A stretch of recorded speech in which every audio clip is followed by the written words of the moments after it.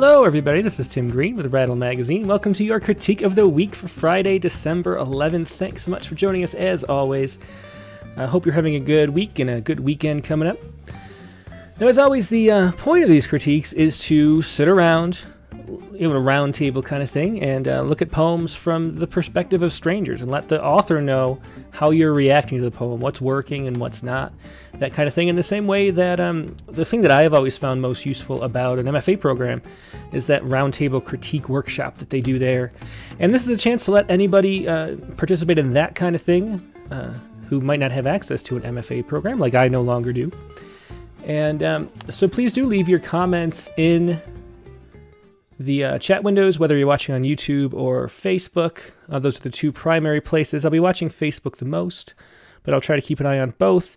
Um, if you're watching on Periscope or Twitter, I really am not watching. So, um, but I mean, other people can see your, your comments there too. So wherever you're watching this, just leave comments and let the uh, author know what you uh, think about these poems. And I'll try to pass along as many comments as I can as we go. Um, but before we get into, I should say, please do turn your phone sideways. If you're on a phone, click on full screen. If you're on a desktop, and if you have the uh, bandwidth, click on the gear and make uh, make it HD so you can see the poem as clearly as you can. And that kind of helps the whole process too. So, um, and hello to Sally Dunn over there on YouTube. Let's see who else we got. Catherine Swanson's here. James Cicillo, Sean Hines. Good evening to you as well. Okay. Now, today's uh, poet is Ilma Qureshi. And let's jump into this poem here. This is Rose in Wilderness. The starless sky is spreading to spaces that lie beyond the universe. At the end of the day, it is you and words versus spilling out of flowers. Speak to me in roses, she said. Roses let out only sighs, speaking to me in wilderness. Snatch me from my existence, winter through my soul. Leave me bare like autumn trees, ripped off of leaves, of flowers, of all things that can be lost. That is today's first poem. We usually do two. And um, here, so let's start with the title Rose in Wilderness. Um, it's, it's kind of interesting. I mean, it, it paints a little bit of a picture. You can sort of imagine, you, you sort of get the, the first hints of the scene with the uh, with the title, so it works. The lack of um, like instead of rose in the wilderness, it just says rose in wilderness. It's an interesting choice. Uh, I maybe would would include the article there. Um, the starless sky is spreading to spaces that lie beyond the universe. That's kind of it's an interesting line. I'm not sure um, how to take it though. I mean, it's not really a possible, um, you know, not not literally possible because there's nothing, um, you know, the the the starless sky spreading to spaces that lie beyond the universe. It, it's hard to imagine what specifically that's saying. It's hard to sort of wrap my head around that. But maybe maybe I'm the only one. At the end of the day, it is you and words, verses spilling out of flowers. So here we get this this move to flowers is interesting because that was it's unexpected when you um at the end of the day it is you and words versus spilling out of flowers. And and the flowers is not what you expect so at least you get a little surprise there. Speak to me in roses she said. And this is my favorite line in the poem. I like that a lot. And, and can you feel that? Every time there's like some it feels like poems have a heart where they're sort of speaking honestly for a moment you know in, in, in, in surprising ways that the the deeper consciousness can speak or something. And um, and they always stand out. A lot of times they're really simple phrases or simple, you know, where it clicks, where um, you know, you're sort of straddling the border between order and chaos, or where you're um, in the flow or something as a writer. And and, and this is um, what works the best for me. Speak to me in roses, she said. I love that concept. Speak to me in roses, she said. And the she too makes it more interesting. That's an addition. We don't know there. There's um we don't know who's here. We don't really. We have a you in words, but that's sort of vague. Once we get a she though who says this, we sort of get a clear character too for the first time. So um, so this line really works, and I'm just trying to point out like the reasons why. Um, Roses let out only sighs. Speak to me in wilderness. And see, I wouldn't repeat this here because because this was such a great poem. I mean, a great line. Speak to me in roses, she said. I wouldn't repeat the speak to me in. You know, it kind of takes away the power of um, its earlier instance. Roses let out only sighs. I like the roses only let out sighs. Speak to me in wilderness, snatch me from my existence, winter through my soul. Snatch me from my existence, winter through my soul. And soul is one of those words um, that just has so much historical weight, I guess you could say, that it, it's almost a cliche in itself to use soul in a poem. And um, it ends up feeling melodramatic, I guess. And so that's one of the, the kind of things I would avoid. And, I, and um, if you can read that, avoid that. And it's because it, it feels like, uh, to me, that when you get to, to things like this, where something's happening in my soul, or and then leaving me bare too is a very similar thing. Um, it feels like you're sort of pushing an emotion, and anytime you're pushing an emotion, it, it loses the um, suspension of disbelief that the uh, the reader has. Like you remember, if, if the if the speaker of the poem starts like pushing an emotion and trying to make you feel stuff, and being like dramatic, um, then you remember it. You know, it reminds that you're reading a poem and that you're tr- that someone's trying to have an effect on you through this poem, and it it sort of breaks the the fourth wall or whatever, and, and takes you out of the poem. And so um, so these lines I would probably cut or change. Um, like autumn trees ripped off of leaves of flowers of all things that can be lost. So, so really, my um, my main critique of this poem, my main suggestion for this poem, is to focus on the "Speak to me in roses," she said. That's such a great line. That feels like it could be the first line of a poem. Um, it could just be the beginning and then sort of leap from there into wherever the imagination takes you. Um, you know, speak to me in roses, she said, blah, blah, blah, blah, blah, blah. You know, like keep pushing that sort of voice and thought because that's really what's hitting home. Um, the other the other parts aren't really connecting as much because they're really common images and um, and I don't know. It's hard to sort of feel connected to them because the she the she only appears here. Roses let out only sighs. Speak to me in, in wilderness. That's an interesting line, even though I, I mean, you could do speak. You could make the speak to me. I know I said before it takes away the power, but if you made the whole poem in this kind of ref, like setup, like the speak to me was were refrains, they're repeated throughout. You could do this a lot. You could do speak to me in roses she said speak to me in wilderness and blah blah blah and like continue the poem that way using like tapping into that energy. Like what i what i'm really trying to say is that there's an energy here that needs to be tapped into in these two lines. And and you can feel it like in your bones when you get to these two lines. And and the the goal of the poet is to tap into that and like push it as far as it can go and so if you started the poem, speak to me in roses, she said, speak to me in wilderness. And then you started to tell a story and, and like reveal who the she is and and and who the you are. Um, and that that's the way to make the poem um, really work. And it's really always interesting to see. Like it's sort of poems very often do this. They sort of spin their wheels around, and then something kind of connects. And if you can like feel that connection, and I think that's what really I was just. Um, who is it on the Rattlecast? We were talking about this with somebody recently, where you kind of like you're kind of listening to yourself for what connects and what has that resonance and where sort of the wheels that are spinning kind of grip and take off. And that's where these lines are. So the main thing, the main takeaway from this poem is to learn how to listen for what works in this way and then and then key in on that after the fact. So I think this is a very um, early stages of something interesting is, is how I would put this poem. Um, but let me try to sort of untangle what's actually trying to be said here. Let's see. Roses let out only sighs. Speak to me in wilderness, snatch me from my existence. Winter through my soul, leave me bare, like autumn trees ripped off of leaves of flowers, of all things that can be lost. I do like this last line, I should say. Um, there's a, there's actually, when talking about like the energy of certain lines, there's the, there's a lot of energy in this line, and this is a good just the way the rhythm works of flowers, of leaves, of all things that can be lost. Like there's the there's sort of like a landing of that energy here that works really well. So it makes a good last line, I would say. Um, but what does this mean? I'm trying to sort of decipher this, just so maybe I can offer some more advice. Roses let out only sighs. So, so the she, and I don't know, is is it still the she who's speaking these lines too, or is this back to the original speaker? That's something else that's unclear in this poem.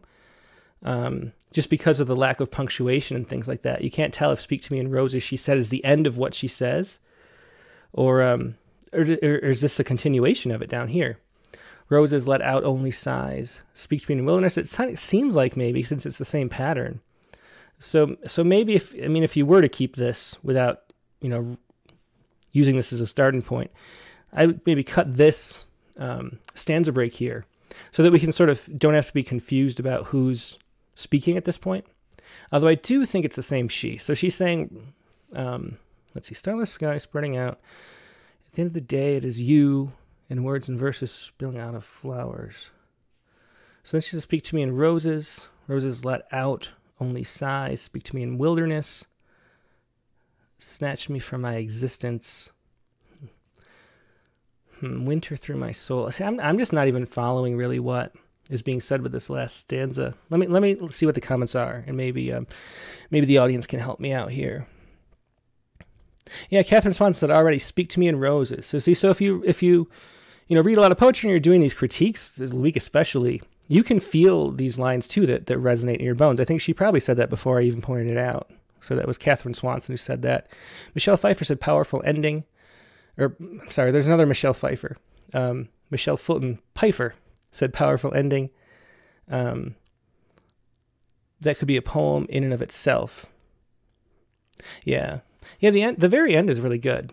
I really, I'd say these last three lines, and it's that repetition, repetition, boom, you know, like the the bop bop boom that that makes it work, and and it's with the, the rhythm of the music of the the way the language is moving of leaves of flowers, because these are quick, quick, and then and then the rest of it of all the things that can of all things that can be lost. There's a there's a nice there's a I don't know it feels good to read that ending, so I think the ending is good. Um, Sharon Ferrante says roses let out only sighs could be first stanza. Where's the roses? Roses let only sighs. Speak to me in wilderness. There's just something that's very abstract and distant and sort of guarded uh, with this poem. There's too much opacity. Like we just don't know a lot about what's going on. Like it's speaking so much in metaphor that the actual, um, you know, the the reality behind it is something that we're trying to parse out instead of just you know the the details of like the who and the what um, aren't where the the power of the poem lies and and so it, like having to sort of try to figure out who's saying what to who and and what you know who the she and who the you are like that's a waste of our sort of mental and emotional energy trying to piece that together and sort of trying to figure out what this stanza is actually saying. Um, where you want that stuff, those details to be clear, and then you want the leap that those do into emotion to be where the sort of ambiguities and complexities are in the poem, and and that's kind of the what's missing here. Um,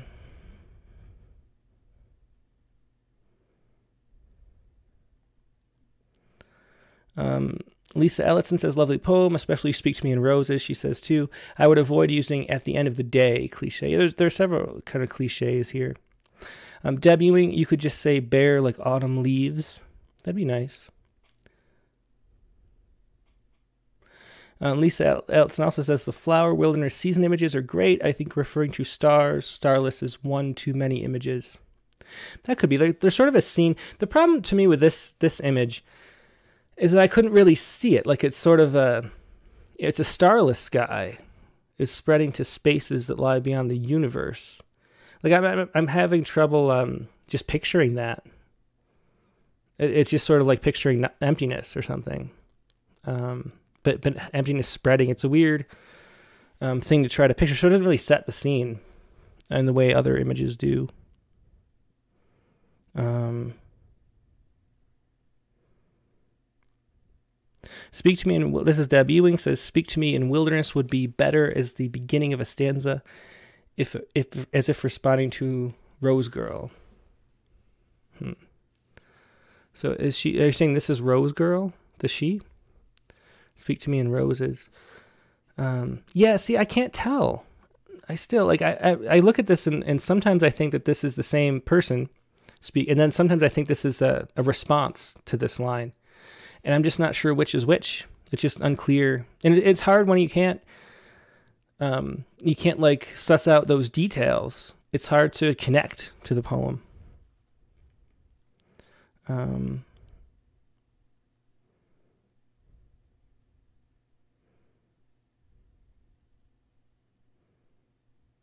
so Debbie Ewing says, so I have a question. Um, who the you are how definitive are you expecting that identification to be? So, so I said like the, if we don't know who the you is, it's tough to connect to the poem, right? And I don't mean that we have to know like this is a specific person, just that how many people are here in the poem, um, and sort of what their relationship is. Um, you know, like because what you need, like you have these sort of points, and you need to know how they relate to each other to connect the dots and um, so they, so um, you know they they can be very vague as people. Um, they don't need, but the problem is there's just nowhere to place this. You know, um, so like if you. And I'm trying to think of an example of how it would work, but but there's a you and a she here, and and it's hard to know is the you the she? Like, is that the same? It is you. Like, who's speaking to who? Does that? I don't know. It's hard for me to articulate this right now, but like, when I get to this, um, at the end of the day, it is you. The words verses spring out of flowers. Like, I don't know if the you is the person that the poem is being written to. Am I the you? Is the you the she? Um, and this is like a response to the you like just that that way that this the people in this poem or the entities or something are interacting isn't clear like how they fit together. Um, and then in, you're trying to sort of make sense of that as you read. Um, whereas if you knew um, like you, and just of the title if it said letter to she like if that was just titled not a great title but pretend it was just letter to she right? Um, then you could imagine that the speaker is talking to the she because it's a letter to she, and then you wouldn't have to piece together that relationship of, of what's actually going on sort of within the speech of the poem. I hope that makes sense. Um, let's see. Sharon Friend says it seems to be about loss. Yeah, there's some there's some sense of loss here. Uh, you know, with the um, the leaves left bare, and, and maybe sort of a um, like a heartbreak kind of thing going on but then is a she the person who's left um, with a loss of all you know or is it the me i don't know it's hard to untangle um, but the images are interesting let's see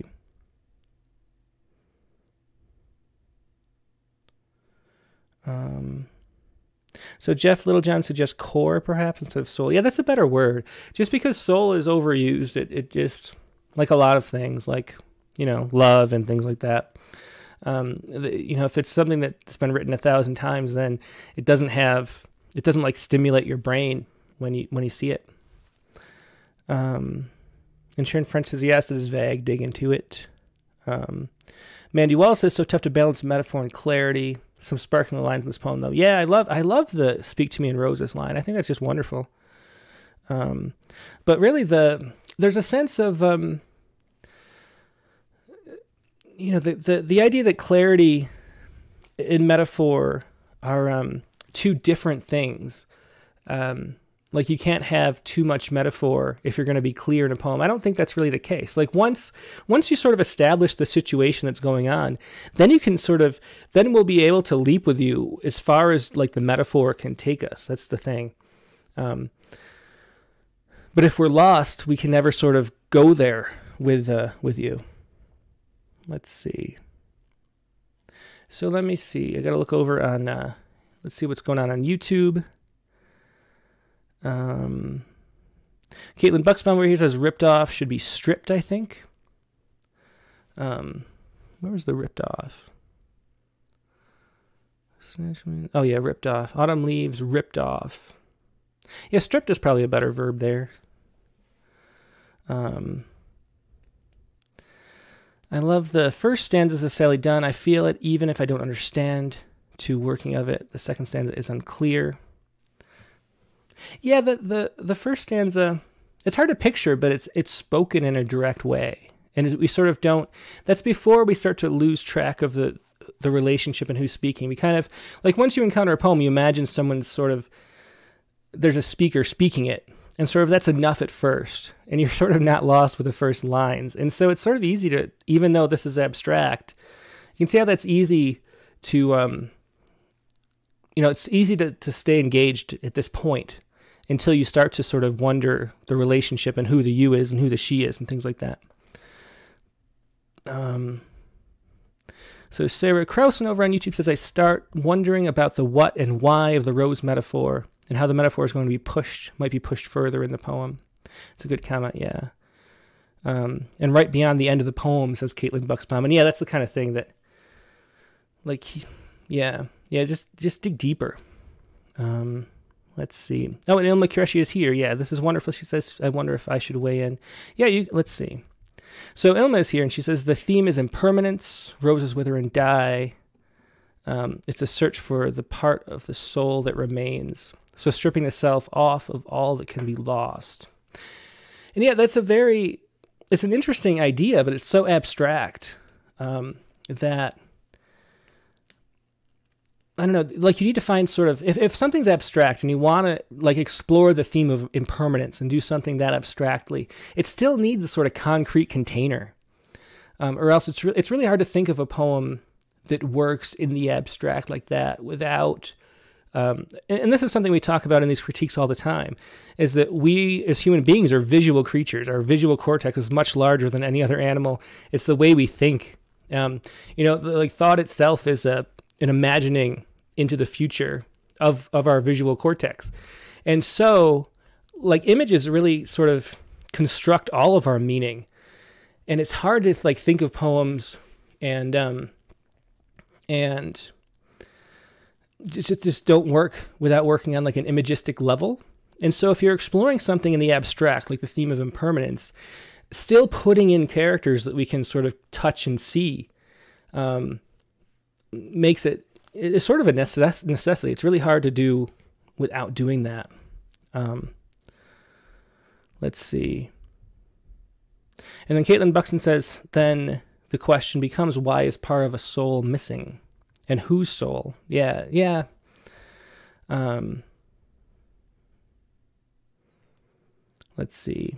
I'm trying. There's a lot of comments over here. Thanks for everybody who's uh, chatting on on YouTube. And Caitlin Bucksbaum, uh, just trying to pass these comments along so they're they're permanently in the video here too. Um, she says it might also be helpful to write toward or through experience rather than a theme. The theme should be clear from the event experience of the speaker of the poem rather than the poem just being. So that's something I was trying to say. Maybe that's a clear way to say it.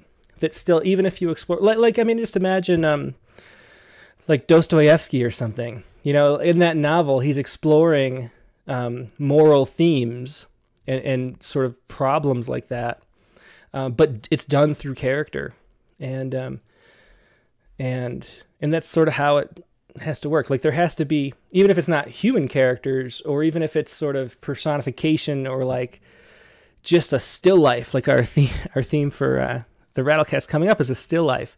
There's still like this this scene that you're painting, and then the scene is what explores the themes. And if you explore the themes without setting that up really well, it's really hard to connect and sort of make meaning out of it. I hope I hope I'm making sense. Um, let's see. Um,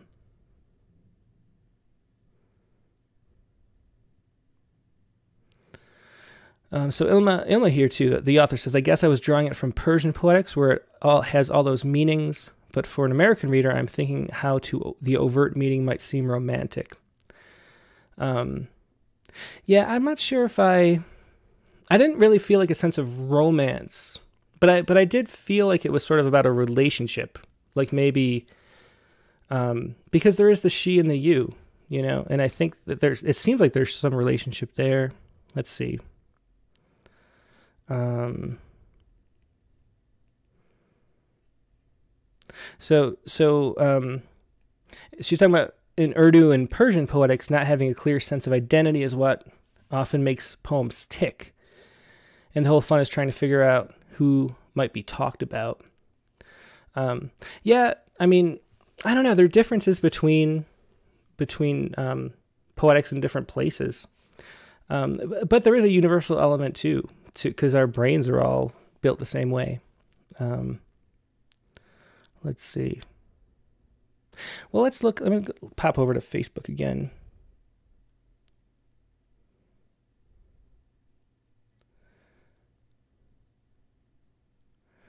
Let's see.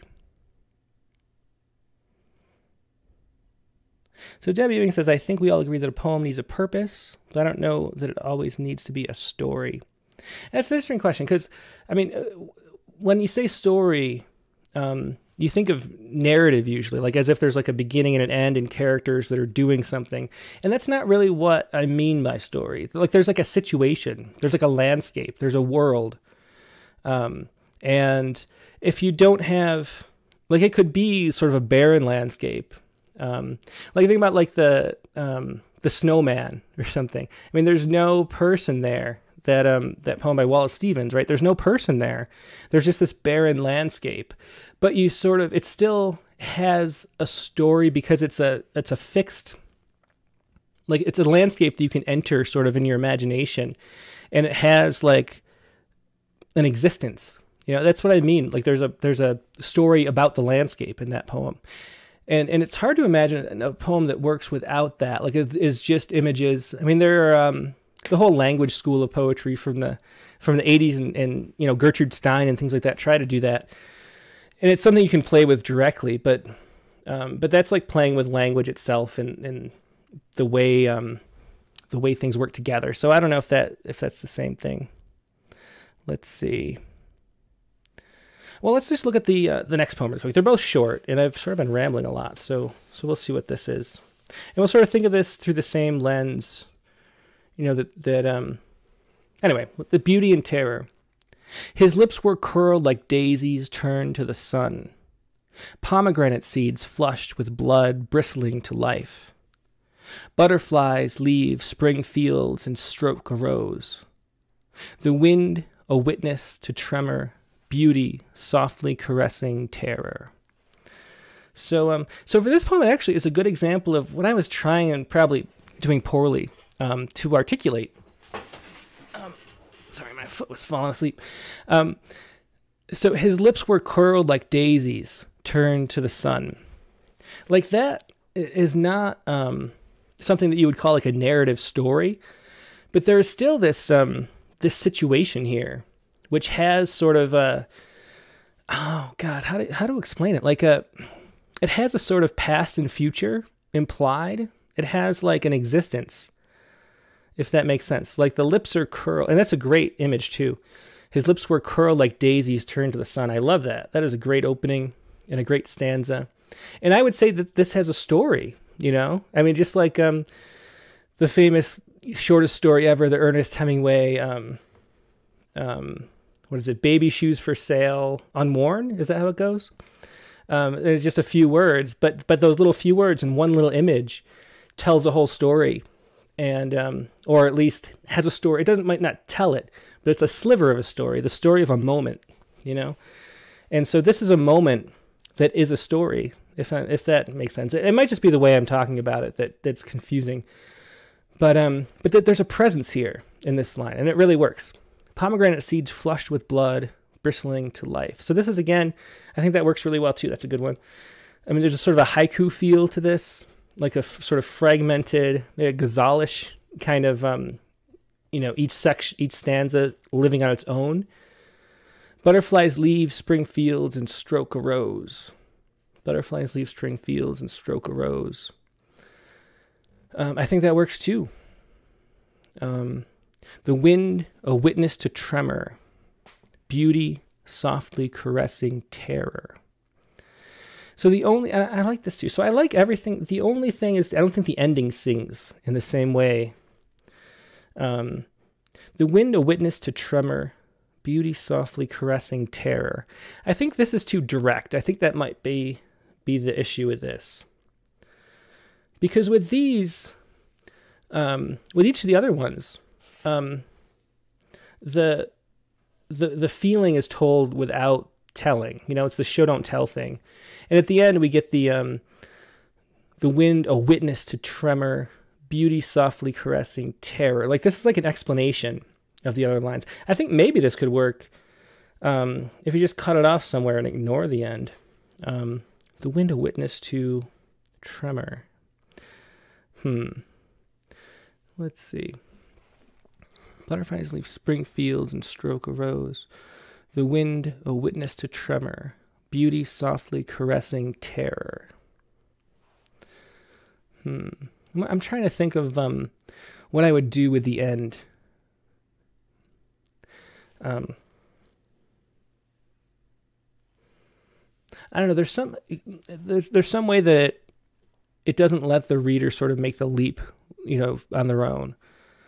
Um, and so so the trick is to find a way that sort of guides the reader to this destination without saying it directly so that we can participate. Um, the wind, maybe just, you know, I think it would be cool ending just the wind to witness and then ending it there. I think that'd be a really a pretty cool ending. Um, yeah. Let's see.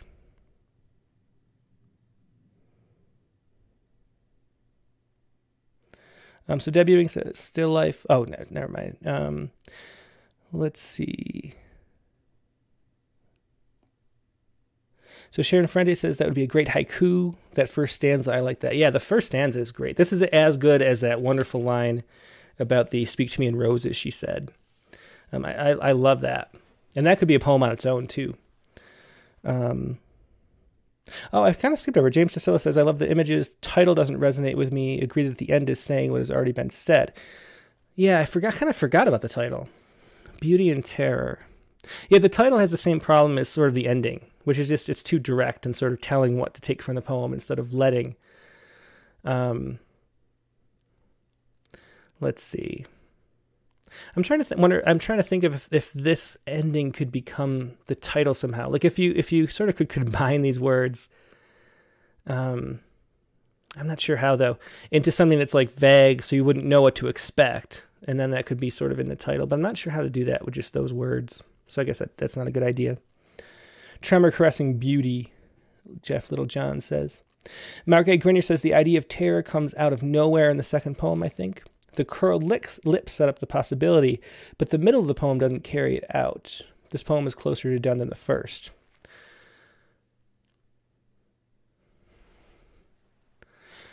Yeah, the other thing I was wondering, I, I kind of missed over this too, which might help. Um, what what Mark A. Grenier is saying that the the sense of terror, or um, or tremor, if you want to call it that, um, is present here, but sort of leaves. If you just left this out, because the stroke of rose is sort of not. There's nothing terrifying hidden in that, but it, but butterflies leave spring fields. Of course, where are they leaving? Um, you know to mate and die i guess is what butterflies do right and so so that would leave that sense of um of terror as a possibility in this line and then you could get the wind to witness i think that would actually work if you just cut out these sort of these lines and then the end here um and if you just had it this short with a better title um i'm not sure what i have to think about the title but if the poem was just his lips were curled like daisies turned to the sun pomegranate seeds flushed with blood burst, bristling to life. Butterflies leave spring fields, the wind a witness. I think that sort of contains it all without having to explain it. And I think that's really what um, what would work. So that that would be my suggestion. I think it's like a, a pretty good poem. If it, the only other thing maybe, so I, would want a better title because this is sort of too leading, um, and I would also um, maybe the this line here, Pomegranate seeds flush with blood, the bristling to life is sort of the same problem as the stroke of rose. Um, pomegranate seeds flush with blood. I'm trying to think of how that you could rephrase that. Um, maybe pomegranate seeds bristling with blood would be a, a better a better way to do that. Um, I don't know. That that's something. This is the only. I think I would just play with these lines and come up with a better title and cut that end. And I think that's a good poem. Um, so that's that'd be my opinion about that. Let me look over. I, I it's hard to flip between screens. Let me look over YouTube. um, let's see. Let me scroll up and try to find where I left off last time. A lot of great discussion. So if you're on Facebook, hop over to YouTube, and, and the um, the actual poet is here, and there's sort of a good discussion between her and Caitlin Bucksbaum and uh, Sarah Krausen. Um, let's see.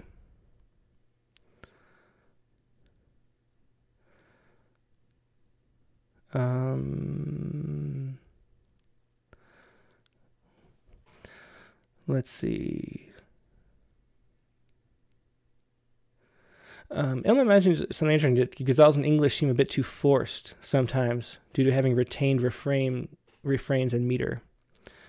Um, let's see. Anyway, so there's just some um, interesting discussion, but not really about the poems. Let's see. Um,